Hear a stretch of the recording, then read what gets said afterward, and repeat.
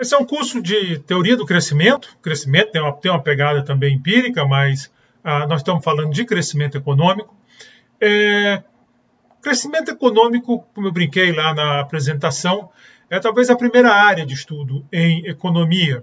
É, é tentar saber por que, que, existem países ricos e países pobres, por que, que alguns países têm uma renda per capita tão maior é, do que outros países, o que, que faz esse mecanismo, que mecanismos levam a essa situação. Entender isso era a pergunta de Adam Smith. O livro era a, a, o inquérito sobre natureza a natureza e as causas da riqueza das nações. Então, ele queria exatamente saber isso, por que, que tem países ricos, por que, que tem países é, pobres, por que, que alguns, algumas sociedades conseguem padrões de renda mais elevados do que outras. Se você parar para pensar, é um, é um tema é, extremamente rico de implicações gigantescas. Então, é, para começar nosso curso, nessa ideia inicial de conceitos, fatos que, eu, que nós tínhamos combinado lá desde a apresentação, vamos primeiro pensar sobre o que é isso, o que é crescimento econômico, o que é uma teoria do crescimento econômico. É, vamos tentar pensar sobre esses temas e para isso eu vou usar um autor é, que é um dos grandes economistas aí da segunda metade do, do, século XX, ou da parte final do século XX, se alguém preferir, que é o Robert Lucas, é, de Chicago prêmio Nobel, que tem contribuições fundamentais na área de economia monetária, macroeconomia, expectativas racionais, é, é, o Lucas, né, afinal de contas, mas que também é, se dedicou a estudar crescimento. Nós não vamos estudar o artigo que esses, esses textos, esses trechos foram tirados, é, mas nós vamos estudar um outro dele que faz uma ponte, é, é, mas vamos comentar um pouco as ideias dele, porque o Lucas também pensa muito sobre metodologia e sobre essas questões em economia. Então, vamos começar é, pensando no problema do crescimento ou desenvolvimento. Daqui a pouco eu falo crescimento e desenvolvimento. O problema do crescimento ou desenvolvimento econômico. E Lucas vai dizer o seguinte nesse, nesse artigo de 88. É, por problema de desenvolvimento econômico, entendo simplesmente o problema de contabilizar o padrão observado entre países e ao longo do tempo e níveis e taxas de crescimento da renda per capita. Então, ele quer contabilizar esse padrão, tanto do nível da renda per capita, quanto do crescimento da, da, da, da renda per capita, e é isso que ele chama do problema do desenvolvimento econômico. É esse o problema, é fazer, é, é, é contabilizar esses padrões. Ele segue dizendo que isso pode parecer muito estreito para uma definição. Talvez seja. Mas pensar sobre os padrões de renda necessariamente nos levará a pensar sobre muitos outros aspectos da sociedade. E aí começa né, a, nossa, a, nossa, a nossa saga. Quando a gente pensa sobre padrões de renda, quando a gente começa a pensar por que, que a renda do per capita do Brasil, a renda média aqui do Brasil, é tão menor que a dos Estados Unidos, o que, que aconteceu que caminhos esses países seguiram, nós vamos começando a puxar uma série de perguntas sobre o Brasil, sobre os Estados Unidos, ou é, é, você pode pensar em outros países, por que, que a Coreia conseguiu ficar tão rica é, é, e a maioria dos países da América Latina não seguiu, aliás, nenhum país da América Latina conseguiu essa renda da Coreia. Há algumas décadas atrás, era muito parecido um com o outro. Então, ao pensar nesses padrões, de nível de renda, né, de renda per capita e de crescimento, você acaba desencadeando uma série de questões que te levam a refletir sobre esses assuntos mais interessantes e mais profundos. Então, é, é, essa é, é, digamos assim, a sacada do Lucas. E aí ele termina dizendo: então, eu sugeriria que não julgássemos o escopo desta definição até termos uma ideia mais clara de onde ela nos leva. Então é isso, é uma definição que parece simples, como aliás é típico do Lucas, uma definição que parece simples, que não vai muito longe, mas quando você começa a puxar o fio, quando você começa a puxar o fio, ela começa a trazer mais questões e nos levar a lugares mais interessantes. Então, quando eu falar aqui de problema de crescimento, eu tá estou muito preocupado com isso. Os padrões observados de renda per capita e de crescimento da renda per capita. Eu quero entender esses padrões, é, eu quero um inquérito sobre a natureza e, causa, e as causas da riqueza das nações. Eu quero saber por que isso. é, o que, que acontece, né? Então, é, por que, que nações são ricas e outras nações não são? Por que, que algumas nações crescem muito e outras nações não?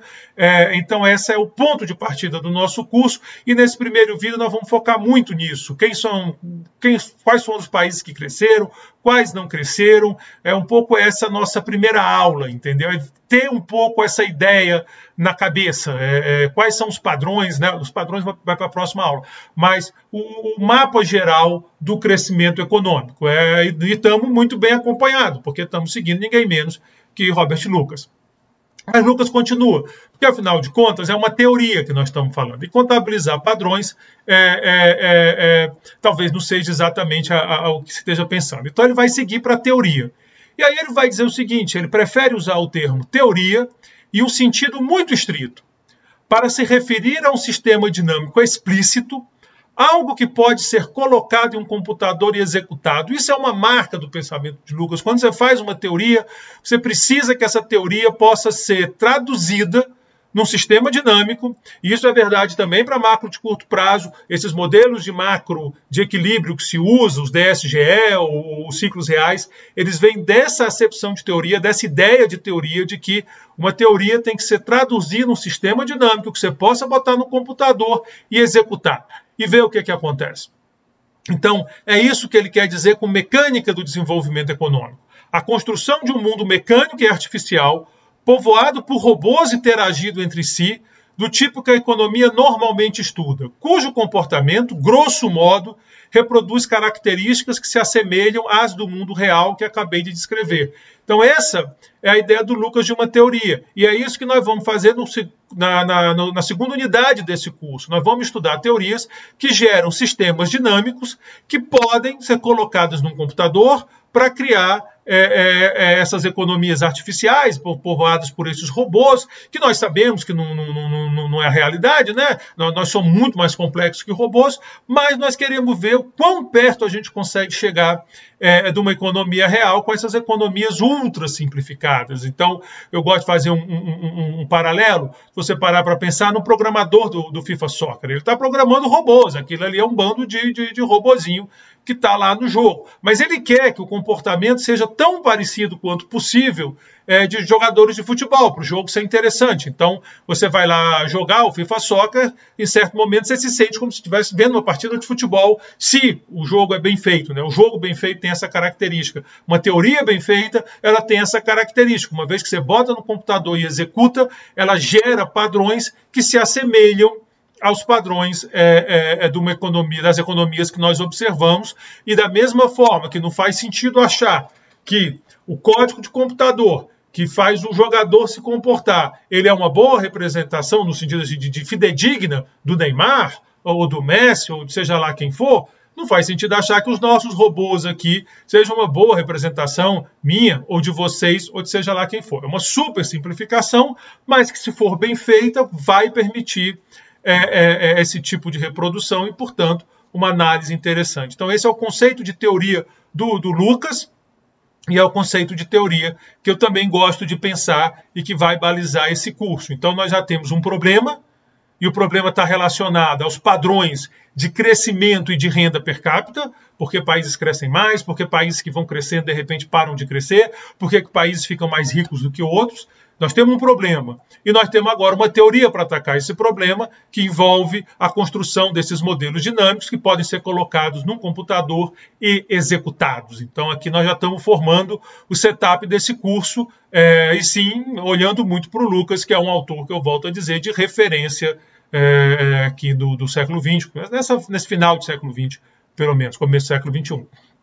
Bom, e aí vamos falar agora de crescimento e desenvolvimento, porque o Lucas está falando de desenvolvimento e a gente sempre ouve falar muito teoria do desenvolvimento, teoria do crescimento, o que é um, o que é outro, onde é que está o limite de um, onde é que está o limite de outro. O Lucas também joga uma luz é, nessa questão. Ele fala que é por isso que pensamos em crescimento e desenvolvimento como campos distintos. Com a teoria do crescimento definida como aqueles aspectos do crescimento econômico que temos algum conhecimento e desenvolvimento como aqueles que não temos Então, essa ideia, esses fatores que a gente consegue mensurar, colocar num modelo, estaria geralmente associado a crescimento, e fatores que a gente não consegue fazer isso, acaba sendo associado a desenvolvimento. Ele diz que não discorda desse, desse julgamento, mas uma ideia mais específica de exatamente onde o modelo falha seria útil para pensar em alternativas. Então, o que ele está propondo, e tem muito a ver com o método é, do Lucas, do Prescott, do Sargent, do Kidder e todos esses autores que revolucionaram a macroeconomia no, no final do século XX, é esse. Você faz sua teoria, o que é teoria? Um sistema dinâmico que vai ser colocado no computador executado. Você observa é, o que que essa teoria vai acontecer com ela, o que que ela te diz. E a partir daí você vai é, é, ajustando o modelo, incorporando novos elementos é, é, no, no, modelo. Então, esse é o conceito. Esse é o conceito do Lucas. É, nós não vamos trabalhar muito construção de modelos aqui, então nós não vamos usar muito essa abordagem, mas é, é bom ter, ter, feito o registro para enxergar o que, que ele está pensando. Bom, então agora vamos começar a ver é, que padrões são esses? Né? Vamos começar a pensar nos padrões, como eu disse, na unidade 2, que é a próxima unidade, não é a próxima aula, é a próxima unidade. Nós vamos ter algumas aulas nessa unidade. Nós vamos discutir padrões, nós vamos falar do problema do crescimento, o problema desse curso.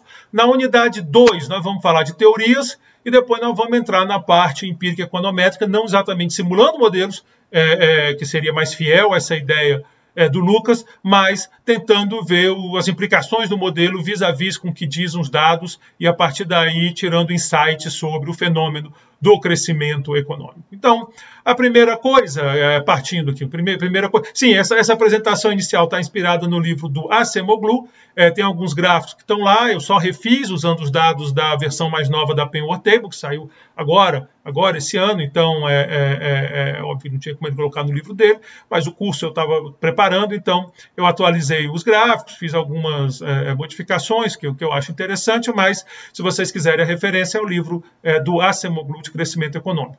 Existem grandes diferenças entre renda per capita e produto por trabalhador entre países do mundo. Esse é, esse é o primeiro fato indiscutível, inegável, é, é, de tão óbvio. Ah, por que está botando isso aqui? Porque é o nosso ponto de partida, nós queremos saber os padrões. Então, o primeiro padrão é esse: as diferenças são gigantes. Se você usar os dados da Penworth Table 10.0, é a versão mais recente da, da, da Table, a Penworth Table, eu falei rapidamente na apresentação, nós vamos, é, no, no, na aula prática dessa unidade, nós vamos discutir com mais detalhes a Penworth Table. Mas a Penworth Table é uma das bases de dados mais utilizadas por quem estuda crescimento econômico, é uma base de dados é, é gratuita, se vocês botarem Payword Table 10.0, vocês vão chegar no link, vão descer. Ela vem no arquivo Excel, muito fácil de manipular, muito fácil de ler em qualquer software. Aqui nós vamos usar o R, como eu também já falei, mas muito fácil, muito, muito, muito maleável é, é a Payword Table. Então, é, essa versão 10.0 que vai estar alimentando, que alimentou esse curso todo e que, que nós vamos discutir em cima, não ser caso muito específico, discutindo artigos mais antigos, é, nós vamos usar outras versões, mas se nós é, é, mas muitas vezes nós vamos trabalhar. Eu acho que num, num dos artigos eu, eu, uso a base de dados original do autor, porque eu quero só discutir esse negócio de reprodução de artigo, é, mas muitas vezes nós vamos usar as bases mais modernas. Mas essa introdução toda e outros momentos que for material é, que a gente não está reproduzindo ninguém, é só motivar a discussão, é a 10.0, que é a mais nova, é a mais recente, tem dados até 2019. Então, se nós pegarmos esses dados da Penworth Table 10.0, é, em 2019, é o ano mais recente dela, o PIB per capita dos países mais ricos, eu peguei os 25% mais ricos, né, aquele quarto superior, era, ficava superior a 40.730, quer dizer, né, nessa faixa aí, 4,7 é, é, é, mil. Isso é em, em, dólares convertido por paridade de poder de compra, é o que chama dólares internacionais. É, então, ele tinha essa, essa dimensão. Se nós pegássemos é, o, do, o dos 25% mais pobres, dos mais pobres, eles são inferiores a 5.026. Então a distância é gigantesca. Né? O clube dos ricos começa em 40,7, 40 o clube dos pobres come, é, é, é termina em 5. Então é, é, uma distância de 8 vezes um, um para o outro. O Brasil não está em nenhum dos dois clubes, nem nós somos do clube dos ricos, nem do clube dos pobres. Nós estamos ali na faixa de 14,5 é o nosso, é o nosso PIB per capita, dados da Penworth Table. Como tem conversão de, de paridade de poder de compra, esses números vão ser um pouco diferentes se você pegar outras bases é, de dados, mas a, a, ordem costuma ser respeitada. Nós estamos bem próximo da mediana, ou seja, ali nos 50%. nós somos aquele cara lá, o meião, nós somos da turma do, do, do, do meião, a renda média, é, é uma expressão que se usa, né, de armadilha da renda média, o Brasil chegou nessa renda média de lá, não consegue sair. Mas é importante ver as diferenças. Então, existem sim, as diferenças são significativas e esse já é um padrão que nos interessa. Da onde vêm essas diferenças? Por que, que elas acontecem? Como acontecem? Mas eu não quero uma explicação qualquer. Eu quero uma explicação que dê base a uma teoria. A, a, que esteja relacionada à construção de um modelo, ou seja, de um sistema dinâmico que possa é, ser colocado no computador executado. Então, é, é, é não vamos começar aqui a, a, ter um monte de ideia, porque arrisca a gente não conseguir organizar isso numa teoria no sentido que Lucas deu. Então, esse, esse é o primeiro fato importante. Ainda se eu pegar a PMOTEB e for olhar agora o PIB por trabalhador, né, o PIB per capita é o PIB pela população, é uma, é uma medida de bem-estar, digamos assim. O, quão, o quanto de recurso essa população pode adquirir, ela está ela tá associada a isso. Já o PIB por trabalhador, o nome diz, é o PIB dividido por trabalhadores, é uma medida de é é, é, é, é, eficiência, quão produtividade do trabalho, né? quão produtiva é essa economia, quantos trabalhadores dessa economia conseguem produzir. São muito relacionados, são muito relacionados naturalmente, mas são conceitos diferentes. Se a gente está pensando em padrão de vida, o PIB per capita é a variável interessante. Se a gente está pensando em, em, em, é, produtividade, eficiência, é, quem é a economia que consegue produzir melhor, aí nós estamos olhando para PIB por trabalhador. E a diferença também aparece aí dentro, quer dizer, uma diferença também significativa, não tanto lá quanto o outro, mas significativo. Ah, os 25% mais ricos, ele vai em 90,6 mil, é lá que está, quer dizer, um trabalhador é, uma unidade de trabalho, para ficar mais preciso, ele produziria 90,6 mil dólares é, é, internacionais. É, já nos países mais pobres é abaixo de 13,7. Então, de fato, o, o, trabalho gera muito mais renda né, nos países ricos do que nos países pobres. O Brasil, o Brasil com 32,7, dessa vez nós ficamos um pouquinho abaixo da mediana. Ali a gente estava quase, está tão pertinho que eu nem botei o valor específico da mediana, que é, na, é, em casa decimal. Aqui não, você vê que a mediana é 43, nós estamos 32. Isso é uma característica do Brasil. O Brasil tem um problema de produtividade. É, é uma marca que quem estuda economia, quem procura padrões na economia brasileira, esbarra nessa questão da produtividade. Né? Então já, já, já, já deu aqui os ares da graça. Eu boto o Brasil, isso não é um curso sobre Brasil, né? Eu tenho um curso de economia brasileira que eu ofereço, um curso amplo, mas esse não. Esse é um curso de crescimento. Mas nós estamos no Brasil. Então, pelo amor de Deus, vamos falar um pouquinho da nossa casa, do, do, do país que nós estamos, né? Então, é, nossa casa às vezes é pesado, mas do país que nós moramos. Então, por isso que eu faço a referência. Bom, essa é a distribuição da renda per capita é, dos países, né, as densidades, em 60, 90 e 2019. A gente pode perceber o seguinte: em 60, que é essa meio rosa aqui, onde está o mouse, é, era bem concentrada, né? Você tem ela bem concentrada com o grupinho dos ricos aqui. Em 90, opa, desculpa, é, em 90 ela abre mais e essa montanha começa a descer, o que, o que é bom, é um fenômeno bom. E finalmente, 2019, essa última aqui, ficou ruim porque 90 e 19 ficou com cor parecida, mas dá para ver pelo traço. Essa última aqui, ela, ela já tem bem menos essa, essa concentração, essa montanha na ponta de PIB baixo, né? Quer dizer, ela está tá, tá, tá, tá se abrindo. Mas ela é larga. Essa largura aqui, e aí você vê que ela vai ficando mais larga. Ela, ela significa que ela né, uma interpretação que está tendo um distanciamento. Então, ela, ela, ela, aqui você tinha os pobres, aqui você tem os ricos. É essa base aqui. Hoje está bem maior é, essa distância. Então, há um crescimento, há um crescimento, muita gente está crescendo, talvez não, nem todo mundo, mas muita gente, porém, há um, um afastamento de um grupo do outro. Se você olhar o PIB per capita, as propriedades ah, as propriedades aqui estatísticas, você vê que o desvio padrão aumentou muito. Calma, isso pode não ser um grande problema, porque também os valores estão aumentando, né? então o desvio padrão cresce junto. É, mas não, não, não, quero entrar nessa discussão aqui agora, mas é, tenho em mente isso. Tem uma casca de banana aqui, tem uma pegadinha no desvio padrão. A média, a média aumenta um bocado, então você tem uma média de 5,4 em 60 e vai para 22,9 em 2017. É, não, acho que é 2019. Ficou 17 aqui que eu digitei errado. Mas é, é, é 2019. Isso aqui deve ter sido a base da tabela que eu peguei com outra versão da Penword Table, mas é 19. A mediana também sobe um bocado, vai de 2,9 para 14, isso dá um sinal de que está subindo, tá, tá, tá, o meio está subindo, né? O máximo era de 23, foi para 75, e o mínimo, que era 0,5, foi para 0,2. Ou seja, lá embaixo a coisa está complicada.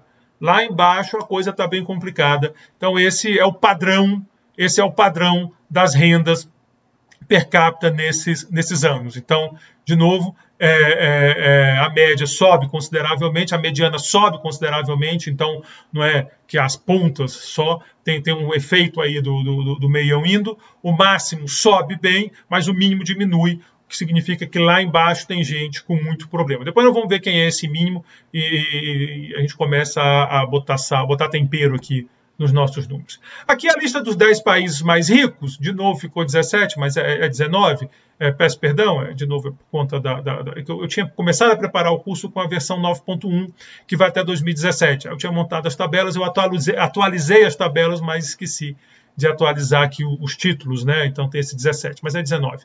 É, então o país mais rico em 60 era a Suíça, em 90 continua a Suíça, e a Suíça continua liderando é, eu pego o país com, com, com, mais de um milhão, acho que mais de 5 milhões de habitantes, que também país muito pequeno é complicado, né? Por isso que tem, você pegar todos vai dar um pouquinho diferente. Mas os países que têm população. a Suíça lidera, os Estados Unidos é, em segundo o tempo todo. Em terceiro, Austrália, Canadá e Holanda, tem uma mudança, mas a Austrália é terceiro, depois ela cai para quinto, depois volta para a Austrália, para quarto. Ela está no grupo, ela está no grupo. O Canadá está no grupo em 60, continua no grupo dos 10, do, do, dos 10 mais ricos em, em 2019. É a Suécia. Na Suécia, ela vai do, também se mantém no grupo. O Reino Unido, é, o Reino Unido ele ele sai do grupo, né? O Reino Unido ele perde o lugar é, nesses 10 mais. A Holanda fica no grupo, inclusive sobe.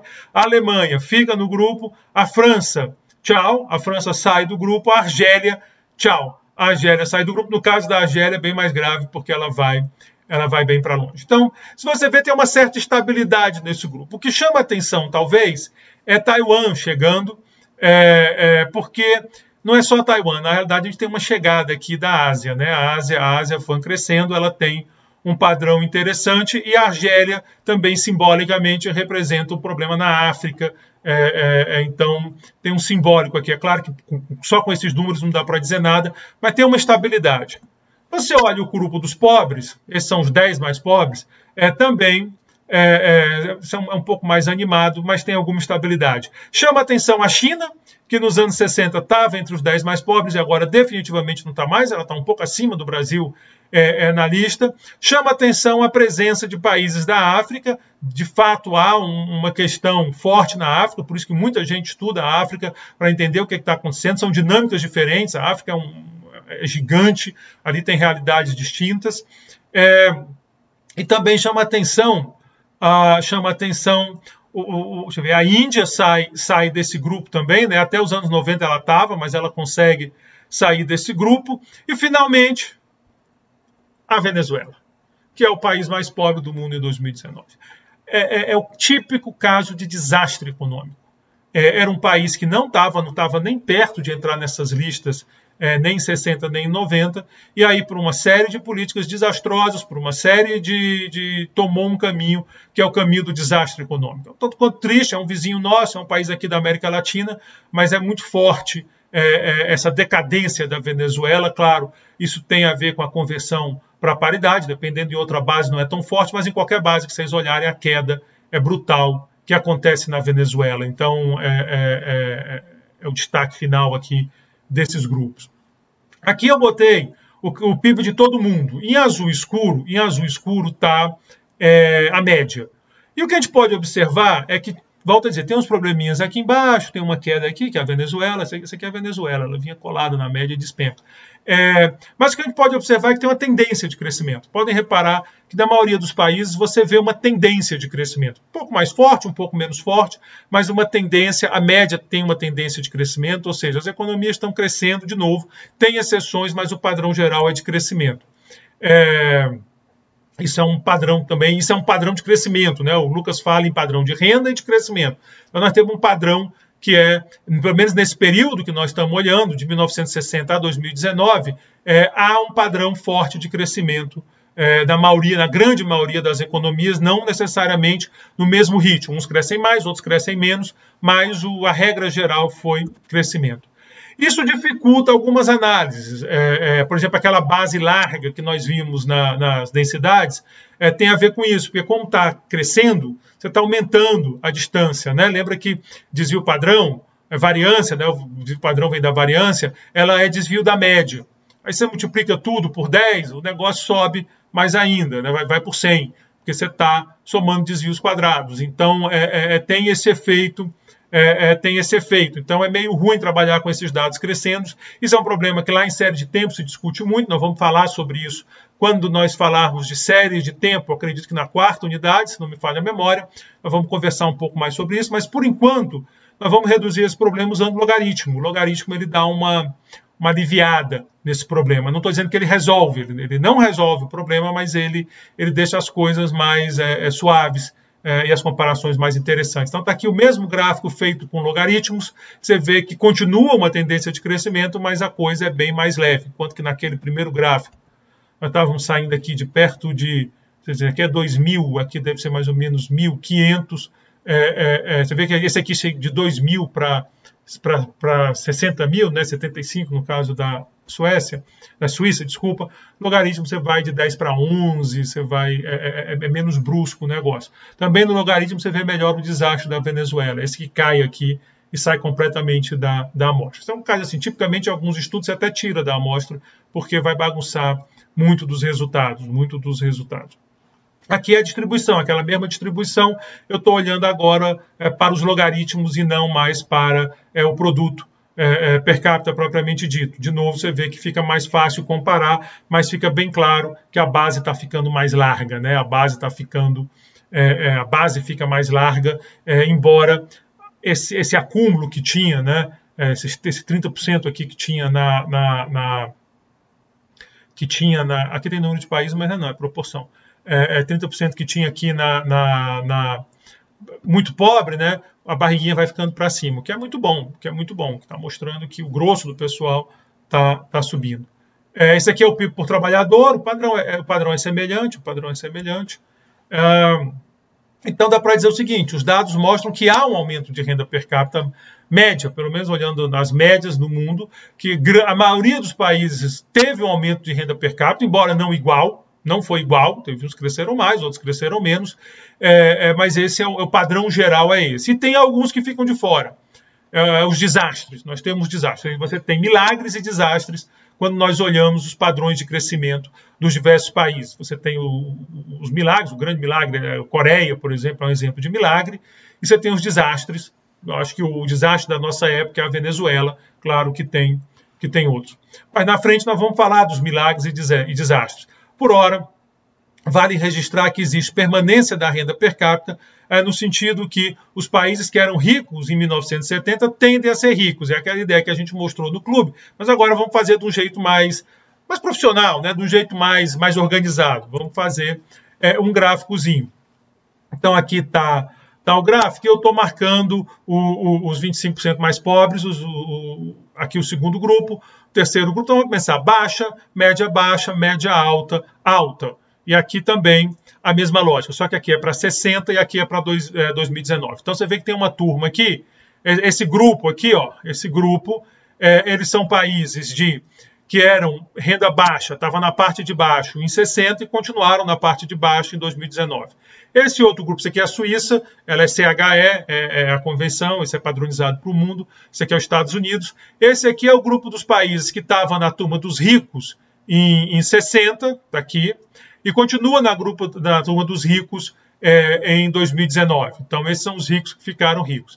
E aqui a turma, a turma do meio, né? Aqui, aqui o meio, é, o, o meião, digamos assim. Então, nós temos aqui esse, esse comportamento. Quem estava onde? Você vê que é inclinado. Isso quer dizer o seguinte: é, a tendência mesmo é de quem era rico em 60 continua rico é, em 2019 e, e vice-versa. Bem aqui está o Brasil. Bem aqui está o Brasil. O Brasil, em 1960, nós estávamos abaixo aqui da média. Nós estávamos. É, é, é da, desculpa, não é da média, da mediana. Nós estávamos abaixo. Então, nós estávamos 50% mais pobres. Mas nesse grupo aqui é, é, de média baixa, de média baixa. Muito embora o Banco Mundial nos classifique como média alta, é, mas nós tá, se olhando aqui os dados, é mais para média baixa. Quando chega em 2019, nós já estamos na fronteira indo para média alta. Isso quer dizer que em termos relativos a gente melhorou. A gente melhorou. Essa é uma história muito doida, muito crescimento num período, desastre no outro, mas é, é, é, é melhorou. Né? Aqui a boa parte da América Latina, boa parte da América Latina está aqui, tá aqui nesse, nesse meião aqui é, eu tenho a impressão que eu tirei a Venezuela. Eu estou procurando, não estou. Não, está aqui a Venezuela, né? Venezuela é uma coisa desesperadora, porque se nós está aqui ela. Se você olha nos anos 60, ela está quase que no grupo dos ricos, na fronteira do grupo dos ricos. Aqui é o grupo dos ricos, aqui é a Venezuela. Quando você olha para a Venezuela, hoje em dia ela é o mais pobre, ela está disparada, né? No, no, no eixo 2019, ela está disparada como como pobre. Então tem tem esses casos, tem esses casos ruins de, de, de grupos, é, de países que caem, está aqui outro, é, você tem essas, essas, esses desastres, esses desastres econômicos. Então, nós estamos começando a desenhar os padrões que nós estamos interessados. Existe uma certa persistência, no sentido de quem é rico fica rico, quem é pobre fica pobre, não é absoluta. Tem países que estavam aqui na fronteira para ficar rico e caíram, é, e tem países que estavam é, com desempenho ruim, você olha aqui, por exemplo, a Coreia é um exemplo. A Coreia, nos anos 60, ela tinha, é, ela estava aqui no grupo dos pobres. Quando eu vou para 2019, ela já está entrando no grupo dos ricos. Está aqui na fronteira do grupo do grupo dos ricos. É, aqui é Taiwan, aqui é Taiwan. Eu tenho a impressão é Taiwan. Ela está, ela tá é, é, um pouquinho abaixo da média e ela agora está também no grupo dos mais ricos. Então nós temos essas, essas, essas diferenças, nós temos casos casos e casos, como se diz, é, mas o padrão geral é, é de persistência dessa situação. Aqui eu estou olhando o PIB por trabalhador, o gráfico é o mesmo, é a mesma lógica, o gráfico, então não vou fazer a discussão, vocês podem observar, procurar cá, está aqui a Venezuela, a Venezuela sempre, muito é o caso triste, aqui, aqui o Brasil, meião, meião, né? O Brasil no, no, no por trabalhador, a gente está bem, bem no grupo média-baixa, é bem nessa turma aí, dos 25% do segundo, da segunda fatia de 25%, é, é, é onde o Brasil está. Mas, de novo, o padrão, né? Quem é alto tende a ficar alto, quem é baixo é, tende a ficar baixo. Ora, essa altura do campeonato alguém pode perguntar, mas por que PIB per capita? Por que nós estamos falando tanto de PIB per capita? Porque eu falei que era uma medida de bem-estar. Mas, afinal, nós não comemos PIB né? O que se diz aí na internet é verdade, ninguém come PIB. Mas ninguém sabe nem o que é PIB. Ninguém veste PIB, ninguém come PIB, ninguém dirige um PIB, ninguém mora no PIB. O PIB é uma, é abstração de macroeconomista, é um, é um conceito é, é, que nós calculamos, que dá uma proximidade, mas ele não é uma, uma, uma coisa, não é essa camisa que eu visto camisa, eu não visto PIB, mas a camisa tá, é parte do PIB. É, é, não essa aqui que já tem um tempinho. o serviço que ela me presta seria, mas não, não tem como calcular. É, é, mas assim, nós, é, é, é, o PIB ele, ele, traz essas discussões, né? Se vale a pena focar no PIB, aí você tem alternativas. O mais famoso é o IDH, que considera mais de uma dimensão. É, que afeta bem-estar, educação, expectativa de vida. Mas a verdade é que o PIB ele conversa com quase qualquer medida de bem-estar que você pensar. Quase qualquer medida que vocês. Assim, tá bom, PIB não importa. O que, que importa? O que, que importa? E várias medidas.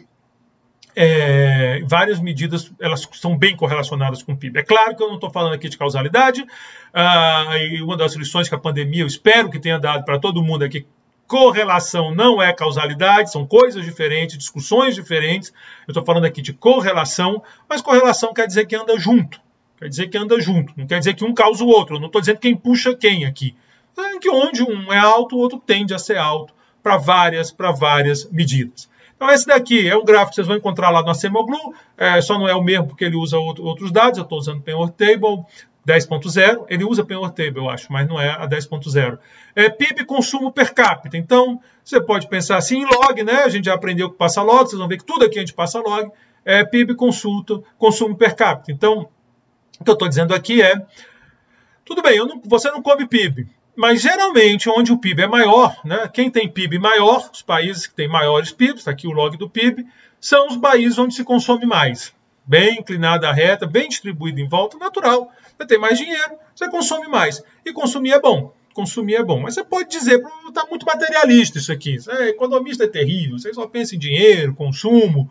Vamos pensar em outras coisas, vamos pensar por exemplo, na expectativa de vida, viver mais é bom. Viver mais é bom. Aliás, o Angus Deaton, prêmio Nobel lá de Chicago, ele usa essas duas dimensões. Ele gosta muito de usar a expectativa de vida e a renda. Quer dizer, você quer viver muito e quer viver com dinheiro. De novo, alguém pode não achar que isso é importante, mas eu imagino que muita gente acha que é bom viver muito e viver com é, dinheiro. Então, você tem essa questão aí do PIB é, do PIB per capita com a expectativa de vida. Esse gráfico também está lá no livro da Semoglu. Eu só estou refazendo com os dados da Penworth Table 10. Ele mostra a correlação. Aqui eu também, minha correlação está bem forte. Bem, eu não estou fazendo cálculo estatístico. Isso aqui é a motivação, né? Mas se fizer, vai ficar direitinho. Dá para ver aqui pela dispersão. É um pouco menos, é, é, tem mais dispersão do que aqui, mas ainda assim está bem, bem coladinho um, um, no outro. Aí eu fui além, entendeu? Eu ah, vou, vou, entrar na brincadeira. Em vez de ficar só nos dois que a Semoglu mostra, eu vou botar outros gráficos, outras correlações, para que a gente possa observar é, é, o, o, PIB, o poder do PIB, ou quão bom é o PIB, é, quando, assim, quais as variáveis que nós pensamos ser importante, ou pelo menos eu penso ser importante, entra. Então, por exemplo, saneamento básico. Saneamento básico é bom, é ruim viver em lugar sem saneamento básico, né? na sujeira e tal. É, e você vê que está bem relacionado. Aqui tem um probleminha.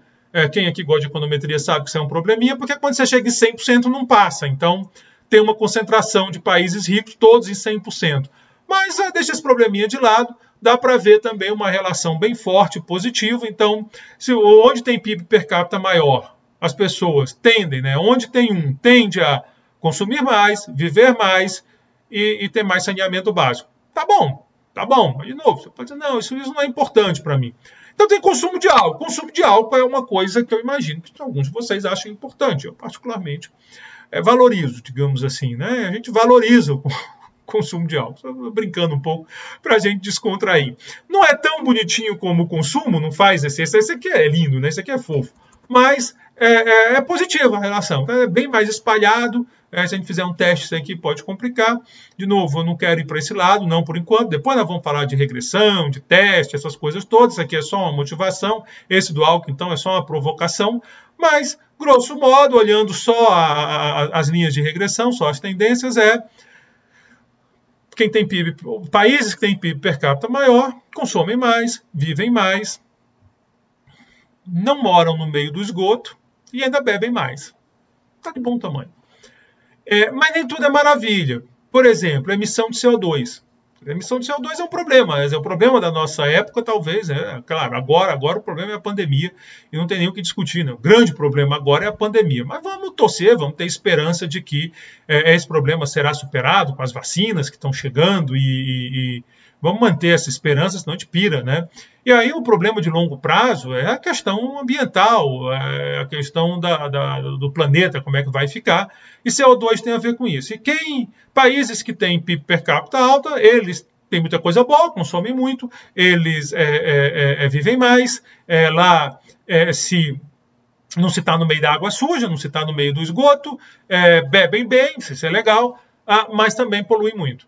É, e isso não é legal. Então, por exemplo, aqui vem um contraponto para o pessoal que fala: você não pode olhar só PIB, porque tem a questão ambiental. Essa é uma discussão interessante. É, não tem exatamente um módulo ambiental. Aqui no departamento nós temos uma área muito forte de, de, de é, de, de, questão de economia do meio ambiente. O, acho que a referência é o professor Jorge Nogueira, mas tem outros, o professor Pedro Zuc, Marcelo Torres, o Moisés, é, é, é o Andrei. Tem, é ruim dar nome que a gente esquece alguém e fica chato mas é, é, é, tem um, um, núcleo forte. Eu vou dar uma pincelada na questão ambiental lá na próxima unidade, na unidade de teoria. Nós vamos teorizar um pouco sobre essa questão ambiental usando o modelo AK, é, é em parte para despertar a questão, e outra parte para,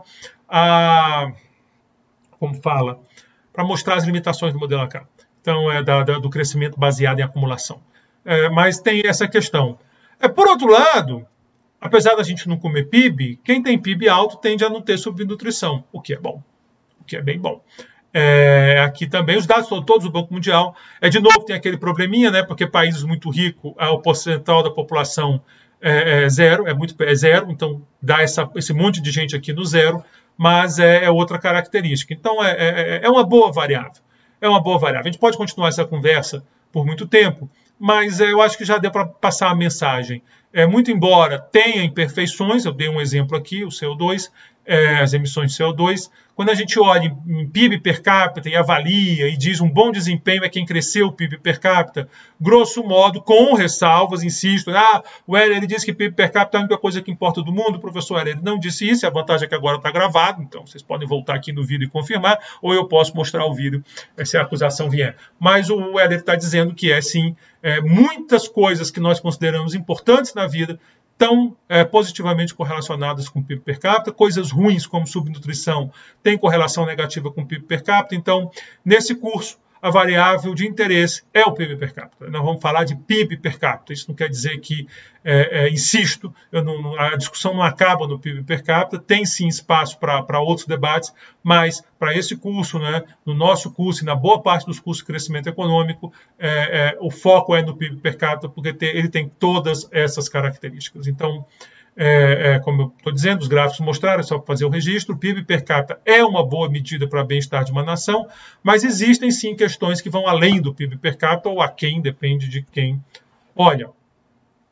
Uma outra questão importante é que o processo de crescimento econômico muitas vezes envolve perdedores e ganhadores a nível micro. Então, quando a gente olha o PIB per capita, a gente está olhando macro. Então, aquela sociedade está ficando mais rica, mas pode ser que nesse caminho alguns estejam ganhando e alguns estejam perdendo. Exemplo, exemplo da nossa época. Você traz uma tecnologia nova, Uber. É a tecnologia nova, em tese, a sociedade mais eficiente aumenta a renda. Mas os taxistas perdem e reagem. Né? Eles, eles acham ruim, eles eu estou ficando para trás.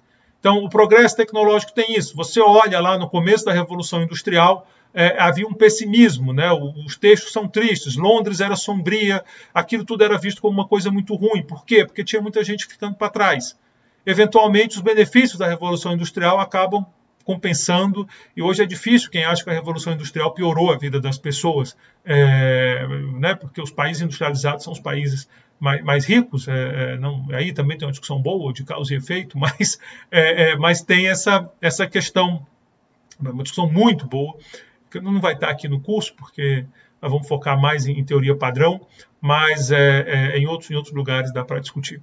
É, mas, mas, assim, esses países que começaram a Revolução Industrial, na né, Europa Ocidental, grosso modo, eles são países mais ricos, dificilmente alguém vai achar que não era bom. Mas no começo tem perdedores, né? os artesãos perdem, é, quem tem uma mão de obra muito especializada numa tecnologia antiga. Por exemplo, se dessa pandemia vier uma revolução na educação, é, é, que diminua muito a necessidade de professores, pode ser que eu, ou alguns colegas meus, a gente venha se dar mal nessa história, embora esteja sendo criado um ganho é, é para a sociedade no longo prazo, as pessoas vão ficar melhor, mas naquele momento é, fiquei para trás. Se por acaso é, tiver essa mudança drástica e disser, ó, oh, não precisa mais de tanto professor, tem que ter menos professor. Mas a gente já está, a gente não vai ser demitido, mas provavelmente vai passar a ganhar menos. É, a vida é dura.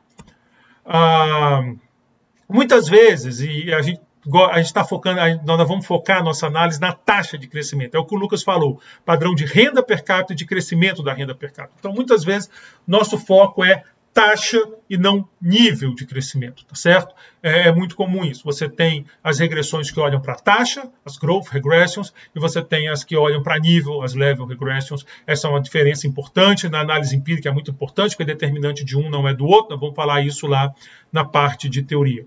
É, então, em termos teóricos, tem diferenças importantes em nível e taxa, é, e também em termos econométricos. Em termos econométricos, tem diferenças importantes é, para trabalhar em nível e taxa, principalmente para quem quiser ir para séries de tempo, esse tipo de discussão. Então, é importante. Agora, tem uma relação uma com a outra, né? Quem cresce muito tende a ter PIB mais alto, quem cresce pouco tende a ter PIB mais baixo. Não pode não ser imediatamente, por exemplo, agora você tem a China, é um crescimento espetacular, mas o PIB dela ainda está lá no meio. Mas se você olhar, ela estava lá atrás, ela está subindo. Então você tem esse processo. Ela vai virar um país rico? O tempo vai dizer. Há quem diga que sim, há quem diga que não, há quem diga que precisa ajeitar muita coisa, há quem diga que no caminho que vai é só seguir esse caminho que chega. Mas é claro que se a China tivesse estagnada, ninguém estava falando sobre a China ser um país muito rico. Então, o crescimento acaba que vai determinar quem vai ser rico lá na frente. Então, elas conversam, embora tenham teorias diferentes, econometria diferentes, elas conversam, tem uma lógica aí dentro. Essa é a distribuição da taxa de crescimento entre 1960 e 2019. É, e aqui é número de países mesmo, aqui é um histogramazinho que eu fiz. É, às vezes histograma é melhor do que a densidade, né? mais intuitivo. E aqui nós estamos vendo, tem a turma que cresce muito, depois vamos ver quem, quem é quem aqui. Essa aqui a gente já sabe quem é, essa aqui a gente já sabe quem é, é o, é o, é o grande desastre é, é, da, da, da economia. E tem aqui o meião, né, a turma que se concentra no meio, é, que são nove países, né, então você tem aqui a turma do, do meião do crescimento econômico. Então você vê que tem uma distribuição, não é exatamente uma normal, mas tem aquele jeitão de sino, se eu botar uma densidade aqui. E tem essa perna puxada, mas isso aqui é um caso típico de outlier é, é, é que nós já identificamos. É, é, então, assim, volto a dizer, em alguns estudos você até dá licença, tira, e aí a distribuição ficaria mais ou menos aqui, é, bem comportada, dá para fazer uns negócios legais. A menor taxa de crescimento é a da Venezuela, como eu disse, já aconteceu, é de menos 5,6%.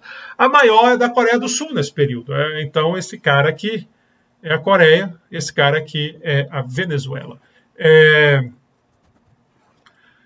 a média da taxa de crescimento anual, né, taxa média anual, nesse período foi 2,3%, a mediana foi de 2,5%. Então foi mais ou menos. Então a, a, a, você vê que a Coreia do Sul vai quase três vezes a média, né? É, é, é impressionante, é impressionante a Coreia do Sul. O Brasil ficou com 3,2%, ah, mas é acima da média, não estamos tão mal. Dos Estados Unidos, 2%. Aí você pergunta, ah, mas como? É natural que países ricos é, é, é, é, possam crescer mais devagar, porque eles estão numa outra dinâmica. Eles estão numa outra dinâmica. Você pega um país como o Brasil, ele tem um espaço maior para crescimento. Não é uma regra geral, nós vamos discutir isso quando falarmos de convergência, ainda nessa unidade, mas não é espantoso. O que se espera de um país como o Brasil é que ele cresça sim mais do que os Estados Unidos para tentar se, apro se aproximar é, dessa trajetória americana. Nós vivemos isso até mais ou menos os anos 80 e depois nós desandamos e perdemos é, essa, essa meada. Só para ilustrar e terminar esse nosso primeiro vídeo, são os três aqui. São os três. O PIB per capita do Brasil, é da Coreia do Sul e da Venezuela. Se você olhar a Coreia do Sul, óbvio, é o caso de sucesso. Ela sai, ela era o mais pobre dos três em 1960. Dos três, ela era a mais pobrezinha. E chega. Claro que aqui tem um efeito, teve guerra, tem guerra da Coreia e tal, mas ela estava ferradinha lá no, no, nos anos 60. E aí vem esse espanto, ela entra aí numa faixa boa, quase aí no grupo mais rico, acima de 40 mil é, é o PIB per capita. Show. O Brasil tá, melhorou, cresceu, como eu disse, ele cresce, ele, ele respira, ele vai, é, é, mas está aqui o Brasil, as estagnações, né? Nós temos essas nossas estagnações. Isso aqui é dado a Penward Table. A Penward Table tem uma distorçãozinha nos anos 90 e a gente não enxerga bem isso. É um problema de preço, de conversão de preço, é, é, é meio ruim. Eu devia ter posto até é, é, outra medida. Ele tem uma medida que não, não que não faz mas é, agora já está feito o gráfico. Mas o importante é que no longo prazo a gente vê o padrão do Brasil, né? Esse vai e volta, esse vai e volta. E aqui é a Venezuela. A Venezuela, né? A super bolha que foi criada na Venezuela. Nós vamos falar sobre esse padrão aqui é, no próximo vídeo. É, eu acho que já é no próximo vídeo. Nós vamos conversar quando nós falarmos de padrão de crescimento. Esse padrão bacana, esse padrão. É, opa, esse padrão mais ou menos, e esse padrão triste de ver. Então é isso. Temos nosso primeiro vídeo. É, é, eu creio que esses, é, motivamos a discussão, né? trouxemos o Lucas e temos fatos importantes, é, alguns fatos importantes sobre crescimento e sobre nível de renda. É, até, até o nosso próximo vídeo. Muito obrigado pela atenção de vocês.